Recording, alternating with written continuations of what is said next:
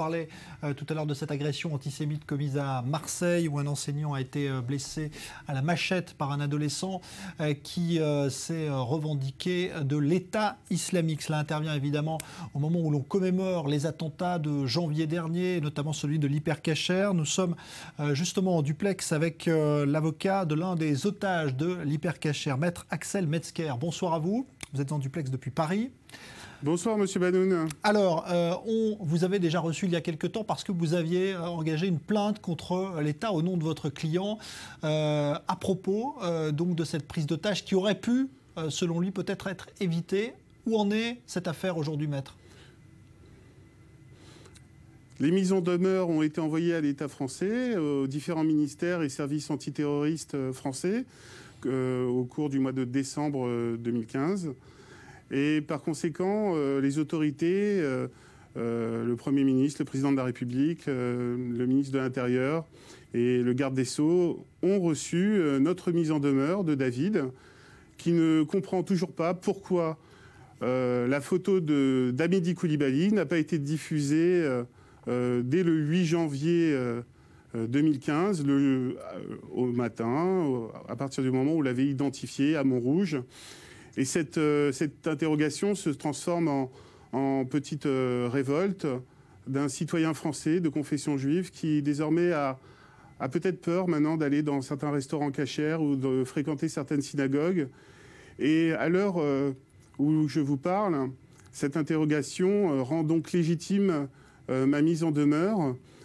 À l'heure où je vous parle, c'est vrai qu'il y a eu beaucoup d'hommages toute cette semaine qui ont éludé certains problème euh, juridique qui se pose désormais, c'est-à-dire, y avait-il possibilité d'éviter l'attentat visant l'hypercachère et tout laisse à penser qu'on euh, aurait pu éviter le drame. Mmh. Alors justement, quel est l'état d'esprit euh, de ceux qui étaient otages de votre client justement par rapport à toutes ces commémorations qui ont eu lieu? Parce qu'on a vu que certaines familles, euh, par exemple dans l'attentat de Charlie Hebdo, ont refusé de participer à toutes ces célébrations. Est-ce que justement les, otages, les victimes aujourd'hui veulent des réponses et plus seulement des commémorations?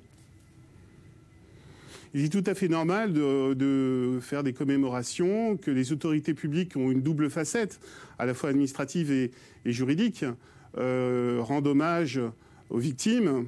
Maintenant, en tant qu'avocat, nous avons des responsabilités, on, a, des devoirs vis-à-vis de nos clients, de, ces victimes. Ils ont besoin de savoir pourquoi euh, certains hauts fonctionnaires, dans le fameux fumoir, qui a été filmé par euh, l'illustre journaliste Serge Moati. Euh, pourquoi? Certains ont décidé, en catimini, de ne pas diffuser la photo euh, d'Amélie Koulibaly alors que la photo des frères Kouachi faisait déjà le tour du monde sur Internet. Par conséquent, cette mise en demeure qui, on va dire, résume une dizaine de fautes administratives, la plus importante étant celle de la non-diffusion de la photo d'Amélie Koulibaly. Et d'ici deux mois, je déposerai euh, devant le tribunal administratif de Paris euh, notre plainte si, d'ici là, les autorités ne nous répondent pas à cette question cruciale qui a changé et bouleversé l'avenir peut-être de la communauté juive en France. Mmh.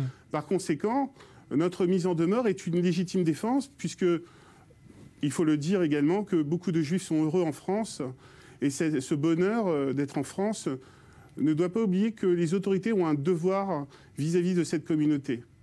Par conséquent, notre mise en demeure est une réaction non, émotionnelle, basée sur des procès-verbaux qui accablent, il est vrai, l'administration, les services antiterroristes, qui ont décidé, je vous donne un exemple, euh, de faire euh, une, enquête de voisinage avec la photo d'Amélie Koulibaly. Euh, ils ont fait euh, appartement par appartement. Est-ce que vous connaissez Amédi Koulibaly euh, Franchement, en matière de lutte contre le terrorisme, on mérite mieux, d'autant plus que tout le monde sait, même les policiers le savent. Dès le 8 janvier, Amédi Koulibaly visait l'école juive de Montrouge. Par conséquent, la vigilance a été lâchée d'un cran au lieu d'être augmentée d'un cran. Et nous avons ce sentiment que la vie de David, mon client, a été mise en suspens par la faute euh, par ce manque de vigilance des autorités qui auraient dû, à l'heure où tout le monde sait diffuser une photo sur Internet, euh, il est regrettable que cette photo n'ait pas été diffusée de manière massive pour euh, bien montré son visage, qui était le troisième homme du gang qui a semé la terreur en France. C'était bien le troisième homme. Et tous les services de police savaient que les frères Kouachi et Amédi Koulibaly étaient des amis de longue date. Quelques mois, quelques semaines avant les attentats, euh, Koulibaly venait offrir des offrandes, euh, des cadeaux euh, à, Saïd Kouachi et à son épouse dans son appartement, en sachant que Amédi Koulibaly a été libéré en, juin 2014. Il n'était pas surveillé alors qu'il voulait. Alors qu'il venait de participer quand même à des actes terroristes, puisqu'il a participé quand même au projet d'évasion de Belkacem, l'artificier euh, des attentats terribles de Saint-Michel, hein, de 95, qu'il ne faut pas oublier. Par conséquent, quand on connaît le parcours de Sherif Kouachi euh, dès le 7 janvier, euh, et quand on sait que dans les archives judiciaires qui sont véritablement ma source principale, hein, on découvre qu'il voulait incendier des synagogues dès 2005, ça a été retranscrit dans des procès-verbaux de 2007, hein, que toutes les autorités savaient que Sharif Kouachi avait pour but d'intimider et de faire peur aux juifs. C'est marqué dans les procès-verbaux. Et encore une fois, vouloir incendier des synagogues, bah écoutez, si tout le monde l'a oublié, moi je ne l'ai pas oublié, c'est pour ça que nous devons euh, créer peut-être une nouvelle jurisprudence en ce domaine et faire en sorte qu'en matière de terrorisme, tous les moyens soient donnés à l'administration afin de protéger la sécurité euh, du peuple français et du peuple européen également, et au Moyen-Orient. Euh, Merci beaucoup. Merci Maître Axel Metzger donc euh, d'être venu évoquer cette plainte déposée donc prochainement contre l'État français après donc l'hypercachère un an après donc justement cet attentat.